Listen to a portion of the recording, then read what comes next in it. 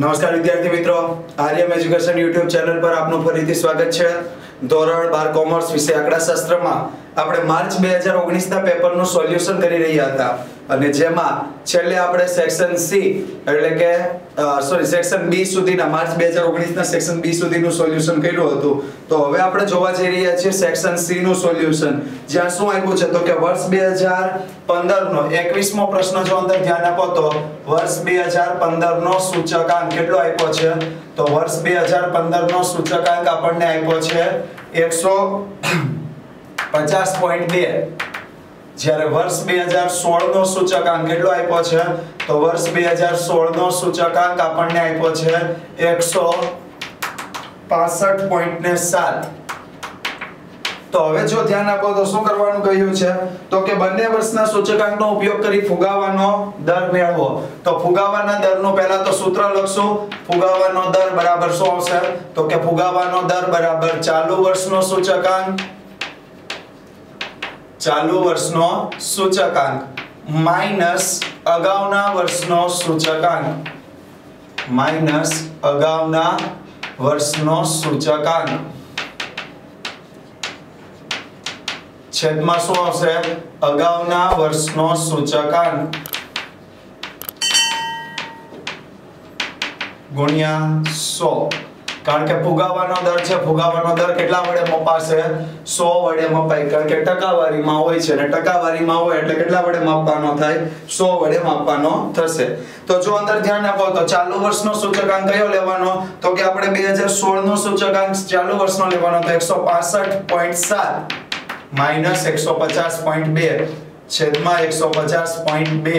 એ અગાઉના વર્ષનો થશે. બાદબાકી કરીએ તો પંદર પોઈન્ટ પાંચ ભાગ્યા એકસો પચાસ પોઈન્ટ બે ગુણ્યા કેટલા આવશે સો? તો આની જો ટકાવારી પ્રમાણ મેળવીએ તો દસ પોઈન્ટ ને બત્રીસ ટકા. શું આવ્યો? આપણા માટે ફુગાવાનો દર. આ આપણા માટે શું આવ્યો? ફુગાવાનો દર. ત્યારબાદ આગળની વાત કરીએ તો બાવીસમો પ્રશ્ન શું આપ્યો છે? તો આપણને આપ્યો છે n બરાબર 10 આપી દીધા છે. Sigma x x bar. અને y y બાર કેટલા આપ્યા છે? તો સિગ્મા x x બાર ને y y બાર 60 આપ્યા છે. sx આપ્યા છે 5 sy આપ્યા છે 6 હવે આપણને શું મેળવવાનું કહ્યું છે? તો કે સહસંબંધાંક મેળવવાનું કહ્યું છે. આ સૂત્રમાં સીધી જ રકમ મૂકવાની છે. કઈ રીતે? તો r બરાબર sigma x x bar, y y bar છેદમાં n ગુણ્યા sx ગુણ્યા sy. બરાબર.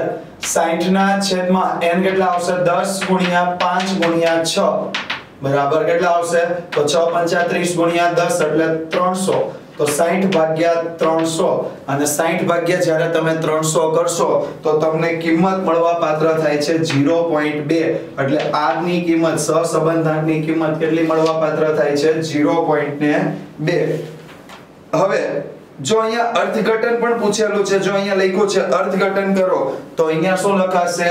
અંશતઃ અથવા આંશિક અથવા અંશતઃ ધન સહસંબંધ આંશિક અથવા અંશતઃ ધન સવર. એ આનો શું આવશે અર્થઘટન. વિદ્યાર્થી મિત્રો, અહીંયા મને એવી સૂચના આપવામાં આવી છે કે જો અર્થઘટન પૂછેલું હોય અને અર્થઘટન ન કરે, તો એનો માર્ક્સ કાપવામાં આવશે. બરોબર?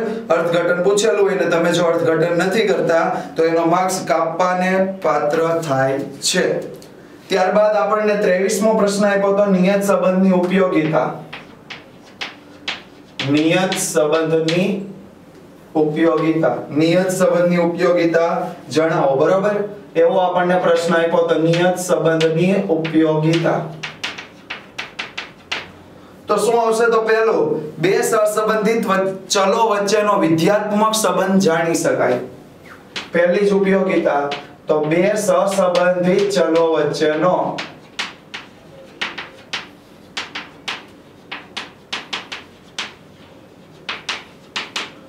શું જાણી શકાય? વિધ્યાત્મક સંબંધ જાણી શકાય.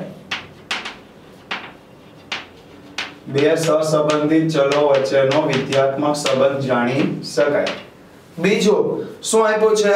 તો નિરપેક્ષ ચલની જ્ઞાત કિંમત પરથી સાપેક્ષ ચલની અનુમાનિત કિંમત મેળવી શકાય. નિરપેક્ષ ચલ કયો હતો x, તો નિરપેક્ષ ચલ x ની જ્ઞાત કિંમત પરથી સાપેક્ષ ચલ y ની અનુમાનિત કિંમત મેળવી શકાય.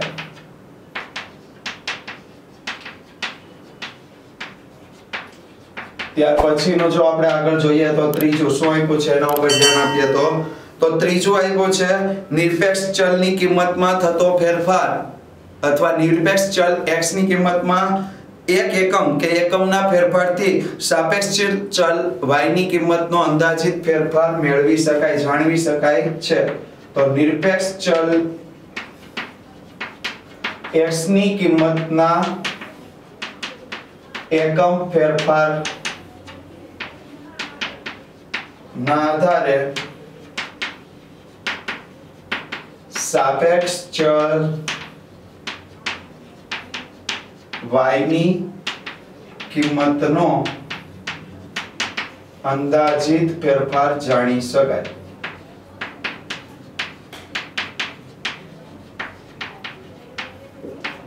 નિરપેક્ષ ચલની આધારે કોનો ફેરફાર જાણી શકાય? સાપેક્ષ ચલનો. ત્યારબાદ આપણને આપ્યું છે, નિયત સંબંધ રેખા પરથી સાપેક્ષ ચલ y ની અનુમાનિત કિંમત શોધવાથી ત્રુટિ જાણી શકાય.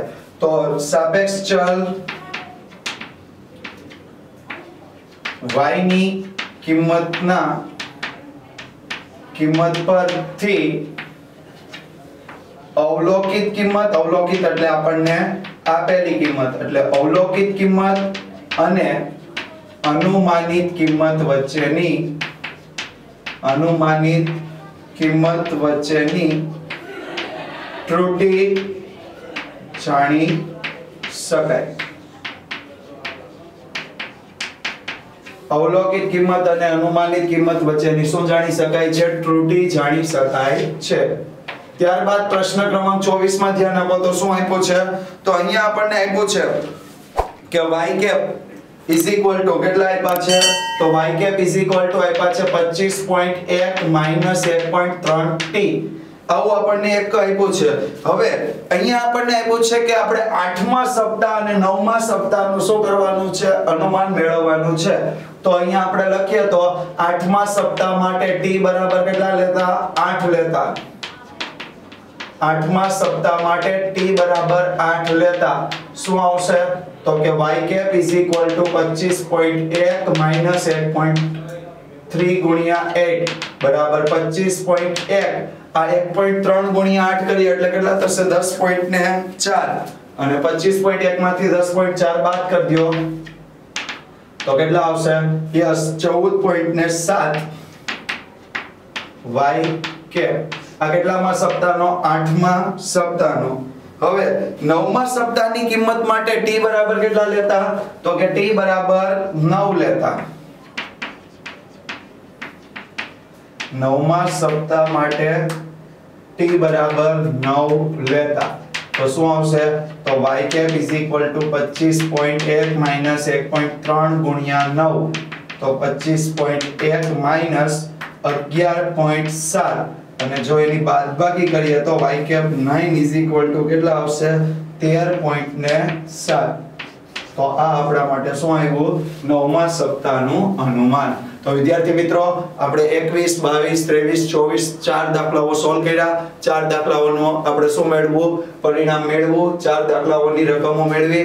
ફરીથી મળશું નવા વીડિયો ભાગમાં ત્યારે પાંચમા દાખલાથી આગળ જોઈશું. તો અમારી YouTube ચેનલ આર્યમ એજ્યુકેશન સાથે જોડાયેલા રહો. Thank you